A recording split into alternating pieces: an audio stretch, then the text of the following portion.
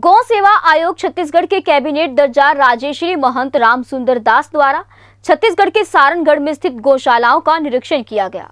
इस दौरान दूधाधारी मठ पीठाश्वर राजेश्वरी डॉक्टर महंत राम सुंदर दास ने गौशाला संचालक समिति के सदस्यों एवं जनप्रतिनिधियों को संबोधित किया। उन्होंने कहा कि गौ माता के प्रति लोगों की सोच और सेवा की भावना में परिवर्तन हो रहा है।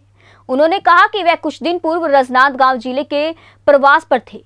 वहाँ अनेक लोग सड़कों पर घायल गोवंशियों को उपचार के लिए स्वयं ले जाते और सेवा करते हुए दिखे, जो बेहद ही सराहनीय है।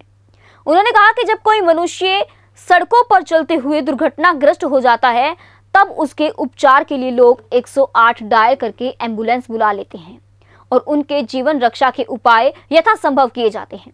किंतु जब कोई गौ माता या गोवंशी सड़कों पर दुर्घटनाग्रस्त हो जाए, तब वह तड़प तड़प कर अपना प्राण त्यागने के लिए मजबूर हो जाती है। यह बातें कई अनेक वर्षों से देखी जा रही है। वर्तमान में अब लोगों की भावना में परिवर्तन हो रहा है। उन्होंने कहा कि राज्य के मुख्यमंत्री भूपेश बघेल ने गोवंशियों के विकास के लिए अनेक योजनाओं का संचालन मुख्यमंत्री के पद को धारण करने के पश्चात किया है, जो कि स्वागत योग्य कदम है। इसकी सराहना राज्य के सभी लोग भी कर रहे हैं। यदि समय के रहते पूर्व शासन काल में इस तरह के कदम उठा लिए गए होते तो आज गौमाताओं की इतनी दुर्दशा हम सबको देखने को प्राप्त नहीं होती।